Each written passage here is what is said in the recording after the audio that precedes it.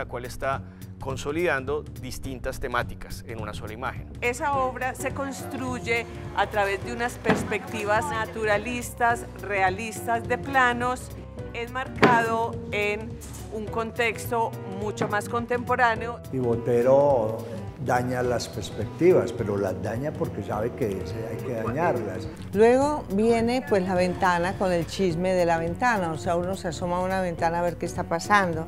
Las ventanas son los ojos, son la conciencia, son la representación de la conciencia.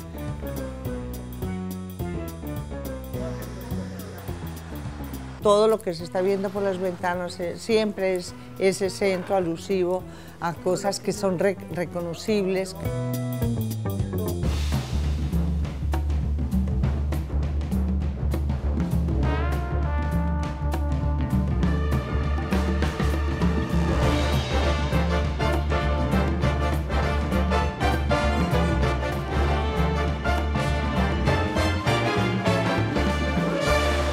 Es una obra en la cual Botero está consolidando en una misma imagen varias técnicas. Tiene acuarela, tiene lápiz y tiene pastel. En esta composición confluyen los intereses y preocupaciones de los artistas clásicos desde el Renacimiento hasta Botero en fusionar el bodegón. Estamos viendo bodegón, y el paisaje. Estamos viendo paisaje. El retrato. Y estamos viendo retrato en una misma imagen. Medellín además es una ciudad eh, conformada eh, por dos laderas, es una ciudad fundamentalmente de mirar. Todos los detallitos están Medellín con las torres de, de la ciudad, pero están las dos torres de la iglesia de la Candelaria.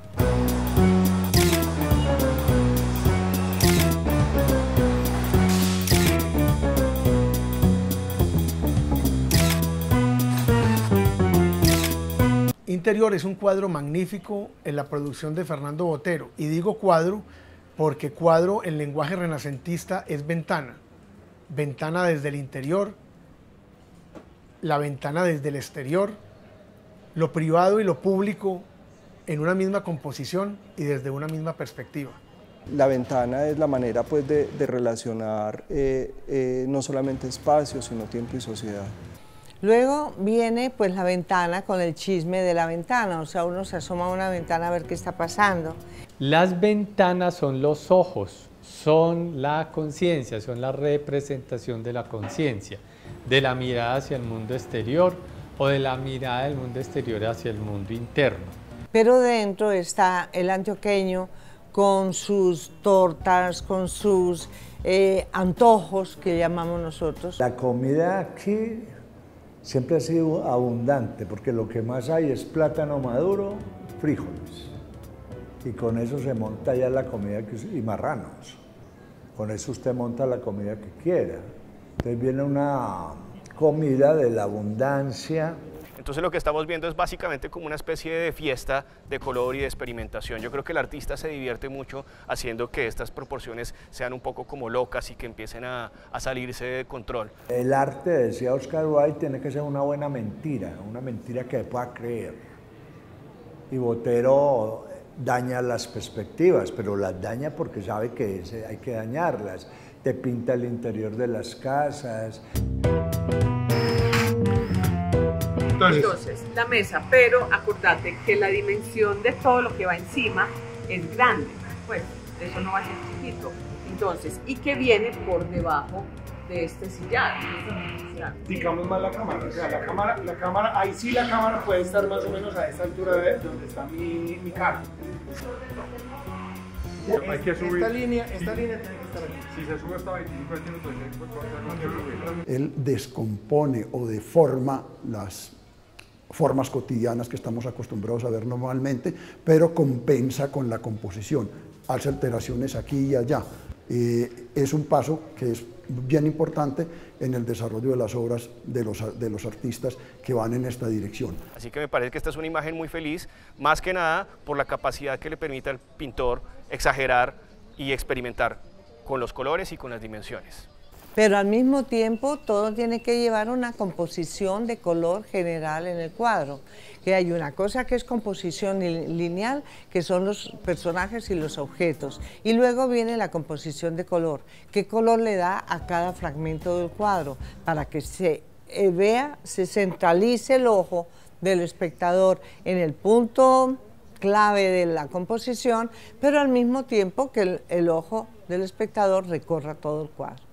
Cuando Botero empezó a explorar el tema de la monumentalidad, le dio tanto interés al volumen, a la forma en que los objetos crecían, que simplemente llegó a la conclusión de que su pintura funcionaba en la medida en que todo objeto rompiera con sus dimensiones naturales y normales. Por eso en una pintura de él una manzana puede ser tan grande como una persona o una arquitectura puede ser tan grande como un pastel o una sandía puede ser tan grande como la cabeza de una persona. Es decir, no hay ningún interés por ceñirse propiamente en la realidad y eso es lo que me parece que también hace de Botero un artista tan característico y tan reconocido en cualquier lugar del mundo. Van superando esa primera instancia que yo trabajo sobre aquello que veo simplemente porque así lo veo para pasar a una instancia que da un paso más allá, como lo hace Botero, en el sentido de que yo hago lo que veo, pero entiendo que son dos realidades muy distintas. Porque si estamos viendo, encontramos la sandía de, de colores rojos, encontramos las frutas de colores amarillos, y esa pauta que le producen a él los colores de las frutas implica que tiene que haber una coherencia entre los colores de los elementos que están compuestos adentro. Entonces él dice, bueno, si acá hay frutas de colores amarillos, naranjas, eh, tenemos que vestir a este personaje de manera que sea también eh, eh, que se integre en toda esa imagen. Si él pusiera el personaje de negro, seguramente el personaje sería lo central en la, en la obra. Y fíjense ustedes que la obra se llama interior, no se llama personaje con bodegón, con paisaje detrás. Es decir, él le quiere dar primacía a todos los elementos que están dentro de la imagen y no a ninguno en particular. Sí, ha sido muy bonito, los personajes muy apropiados, muy bien escogidos, se han enamorado de sus personajes. Entonces ha sido divertido, duro, duro, duro, los detalles pequeños, pero como dice el dicho, esos son los detalles que enamoran. Lo vamos a poner así. No.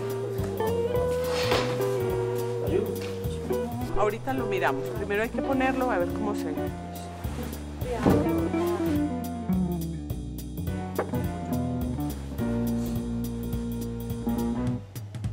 El señor es NN.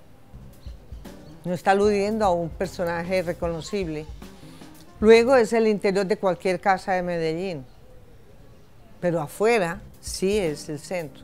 Cuando Botero mira con nostalgia su Medellín, la Medellín en que nace en los años 40, 50, cuando tiene toda su adolescencia en este periodo, él lo que recuerda de Medellín es estos techos en barro, que eran tan particulares de la ciudad y que les daba como esa, esa característica en una mirada desde una montaña, una mirada aérea. La conformación del Valle de Aburrá eh, no tiene, digamos, unas minas de piedra importantes, lo que ha hecho que sean sus, sus arcillas, digamos, el material principal de desarrollo de la arquitectura de la ciudad. Para Botero, la representación de Medellín sigue siendo una aldea, una aldea de principio del siglo, del siglo XX, ¿no? Cuando él vivía aquí, cuando pintaba Medellín, Medellín era una ciudad bajita no había edificios altos. Era una Medellín básicamente de un tono naranja, de un tono terracota. Y es la que él siempre ha revelado en su pintura. Cuando él mira Medellín, la Medellín de la época para él es siempre la de la teja de barro. Entonces, todas las imágenes de Medellín fundacional son esas, pues las casas unifamiliares de un piso con estas tejas de barro y eso es digamos esa imagen eh, evocativa que eh, nos, nos remite este cuadro. La aldea donde él nació, creció, y, que, la mantiene en su imaginario. Porque si Botero se sabe qué es lo que pinta él, son los recuerdos de su niñez, su mamá por aquí, todo este sector era el de él. Y yo creo que es una de las grandes fortalezas de Botero, es que mantuvo desde su visión de estilo personal ese ámbito cotidiano, de alguna manera rural, porque en todos los interiores siempre vemos las casas campesinas, los pueblos, no las ciudades, el, poblado no existía para él. O sea, en el año 30 y 40 no existía el poblado. Eran las fincas, se veraneaba en el poblado. El centro era donde vivía toda la, gente, todos los, los, estratos sociales vivían en el centro. Entonces, el parte del centro, todo lo que se está viendo por las ventanas, eh, siempre es ese centro alusivo a cosas que son reconocibles, que están todavía. Pues es que Medellín, hasta más o menos la década de los 50, era francesa, estaba afrancesada por todos lados era la Escuela de Artes y Oficios de París. Eso eran los edificios de Medellín, el Banco de la República, eso era todo el centro. Y luego llegan los de, cuando se conforma el barrio Prado, gente que compra planos en Europa y los manda a hacer acá. Hasta hace muy poco todos eran edificios bajitos. Los bancos tenían sus edificios gordos, sólidos, una arquitectura de banco, pero al mismo tiempo eran bajitos, es una de las formas de modernizar Medellín fue ingresarla en el mundo de la escuela de Chicago. Llegó un momento en que se disparó, lo disparó con tabaco con su edificio del Parque de Berrío. Uno de esos que marca la ciudad es el edificio Coltejer.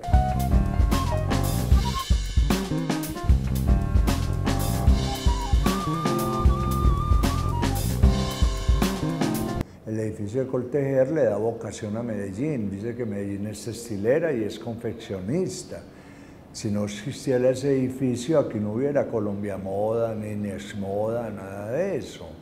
Y en el Parque Berrío fue cuando empezó Blanca o la República y todos estos eh, eh, hitos de nuestra industria que hacen sus propios edificios, pero que se vuelven mitos de la ciudad. Están son icónicos porque son referencias. Y como hay tanto banco, como hay tanta aseguradora, los, eh, las grandes instituciones realizan lo que llama arquitectura de poder. O sea, vamos a mostrar a través de la edificación lo importante que somos. Digamos, hizo una renuncia eh, a, a nuestra historia y de manera un poco salvaje, pues fue demoliendo absolutamente cada vestigio del pasado eh, a tal punto que tenemos uno de los centros eh, con menos eh, valores históricos actualmente en pie. Ahorita esto hay que partirlo, ¿cierto? Lo voy a poner a secar un momentito, porque esto se tiene que partir. Partir aquí y cortarle arriba un pedazo. Eso. Aquí se arma con, con perspectiva real. Sabemos que el maestro Botero también, dentro de sus obras representativas o sus series representativas, son las naturalezas muertas, ¿cierto? Las naturalezas muertas, eh, también comúnmente llamados bodegones. Entonces, podemos encontrar unos retratos que yo también diría que son autorretratos de su región, de su localidad, de naranjas, manzanas, eh, muchas frutas tropicales propias de, la ciudad y obviamente muy compuestas dentro de una eh, geometría y una composición bastante, eh, yo lo diría, arbitraria, pues porque por su volumetría no obedecen a unas lógicas naturales de de las perspectivas o de planos, sino que él de una manera también muy, muy aleatoria, él va disponiendo esos elementos naturales, frutales, en el plano. Los pueblos muestran precisamente como, como si fuera una pintura en donde el hombre ocupa el lugar central, las mujeres y los niños están eh, en periferia del hombre. En los pueblos, en el marco de la plaza, se veía cuál era el orden. Estaba, digamos, la alcaldía municipal y estaba también la iglesia en el parque público. Posiblemente el edificio más grande sea siempre la catedral.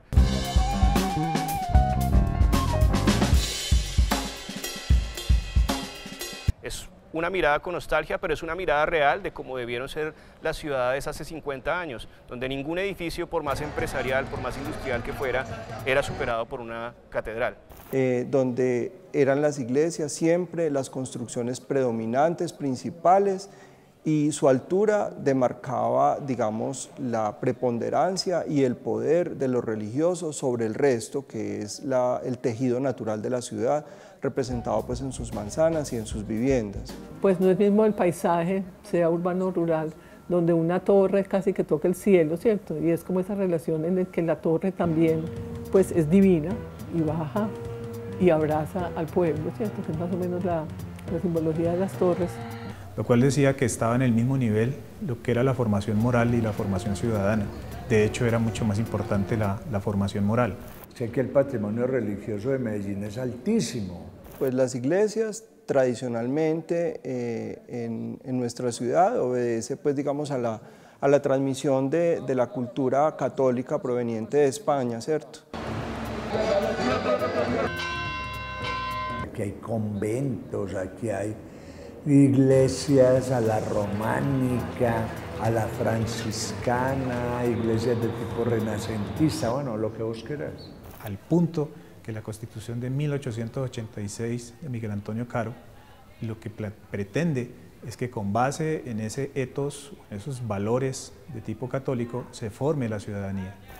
Aquí hay un catolicismo antioqueño, no antioqueño, y que fundó pueblos. Un buen católico es un buen ciudadano, es lo que se piensa en ese contexto de la Constitución de 1886, que es la que le da un poco el carácter conservador a la nación colombiana. ¿Quién hizo el mundo de Antioquia? ¿Quién hizo el mundo de las iglesias? ¿Quién hizo que Medellín se fuera primero un barrio de, de barrios que eran pueblos? Una ciudad de barrios que eran pueblos, ¿cierto? Eso era antes Villahermosa, Belén, La América, eran pequeños pueblos la gente era de Belén, era de La América, era de Buenos Aires, era de, mm, de Aranjuez. El proceso de urbanización lleva entonces a que la iglesia deje y el parque deje de ser el lugar donde se origina eh, lo público o lo social y se destaca entonces ese proceso de eh, industrialización, ese proceso de construcción de zonas para entretenimiento. Sí, ya las de, de, las iglesias son como unos poemas olvidados, ¿cierto? La iglesia deja de tener como esa, esa rectoría, por lo menos a nivel formal.